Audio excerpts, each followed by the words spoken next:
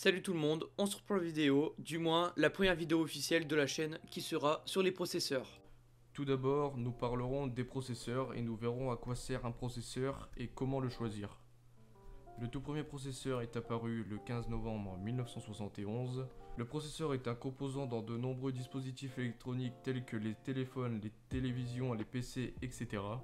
Il va exécuter les instructions machines des programmes informatiques. En résumé, le processeur est comme le cerveau de l'ordinateur, c'est lui qui organise les échanges de données entre les différents composants tels que la mémoire RAM, la carte graphique, le disque dur, etc. Il va effectuer les calculs qui font que l'ordinateur affiche votre système à l'écran. Le processeur, on le choisit selon nos besoins. Si vous voulez un processeur pour faire de la bureautique, nul besoin de prendre le processeur de dernière gamme.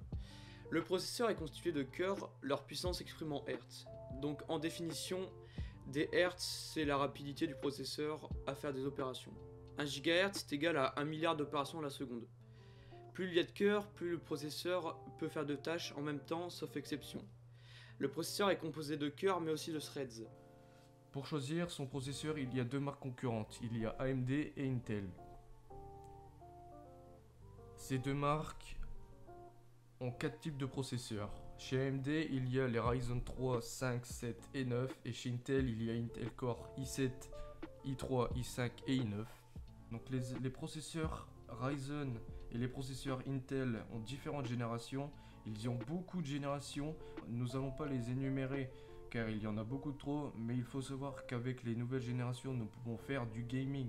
Mais aussi, il faut se munir d'une carte graphique, car celle contenue dans le processeur n'est pas assez puissante. Si le processeur n'est pas assez puissant, il bridera la carte graphique, donc prendre une carte graphique haut de gamme avec un processeur bas de gamme n'est pas recommandé. Sachant que chaque processeur correspond à un profil particulier, il faut bien les choisir. Donc selon ce que vous comptez en faire, attention, il faudra bien choisir la carte mère selon la génération du processeur. Donc les processeurs de chez Intel et AMD de la version 3 à 9 ont la même utilité. La différence entre les deux marques, c'est le prix ainsi que la qualité. Elles ont toutes les deux des processeurs très puissants, mais chacune des deux ont une qualité différente en plus. De très bonnes marques, mais vérifiez les performances des processeurs avec un benchmark au cas où euh, que le processeur ne correspond pas à vos attentes. Alors la version 3, la version 3 dont un i3 et un Ryzen 3 correspond à l'entrée de gamme. Les prix varient entre 90 et 160 euros selon la marque et la génération.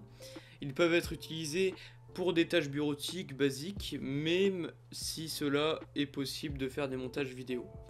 Mais plus le rendu de la vidéo sera long, plus le traitement prendra du temps, etc. Pour la version 5 des processeurs elle correspond au milieu de gamme, les prix varient entre 120 euros et 380 euros sur la marque et la génération. Il se montre rapide pour exécuter des tâches quotidiennes, il est, donc plus performant que la, la génération 3, dans le domaine du gaming ainsi que dans le montage vidéo et les retouches photos. Il y a aussi la version 7, donc cette version 7 correspond à la haute gamme, les prix varient entre 230 et 500 euros et ensuite, ça peut monter beaucoup plus haut selon la marque et la génération. La version 7 est légèrement plus performante que la version 5 au niveau du gaming, mais sa différence avec la version 5 est qu'elle est faite pour utiliser sur des logiciels lourds comme les logiciels de modélisation, d'animation et de rendu 3D. Donc si c'est pour jouer, donc si c'est pour faire du gaming, vaut mieux économiser son argent en achetant la version 5 des processeurs et non la version 7.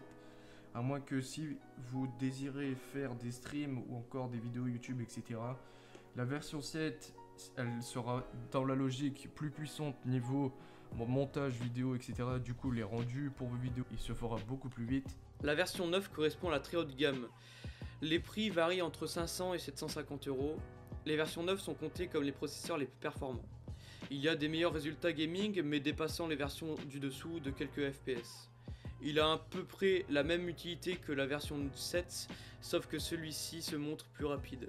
Sa puissance de calcul est nécessaire à la création de contenu et à la réalité virtuelle. On parle aussi de la résolution des écrans, car oui, il y a besoin d'utiliser beaucoup de performance pour jouer en 4K ou pour faire des vidéos 4K en très haute qualité graphique, etc. Faites pas attention au micro car entre le temps que la vidéo a été réalisée, le temps s'est écoulé De ce fait, j'ai plus le même micro, dites-moi dans les commentaires lequel est le mieux. Donc en conclusion, le processeur est un composant assez complexe à comprendre. Il a plusieurs particularités qui font qu'il doit effectuer plusieurs tâches en même temps. Il y a la vitesse, le traitement d'informations, etc. Et chaque processeur a une utilité différente.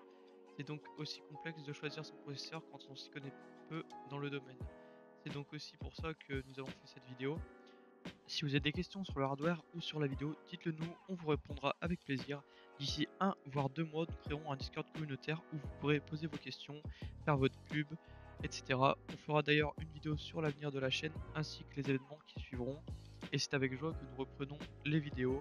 La prochaine sera sur comment savoir quel composant de son PC est endommagé. C'est maintenant la fin de la vidéo en espérant qu'elle vous aura plu et qu'elle vous aura aidé. N'hésitez pas à liker, vous abonner et donner votre avis en commentaire. À la prochaine pour plus de vidéos.